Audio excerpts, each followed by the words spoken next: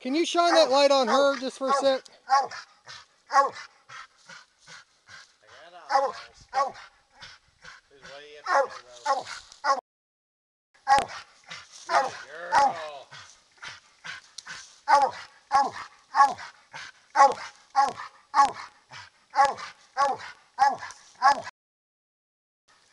Ow!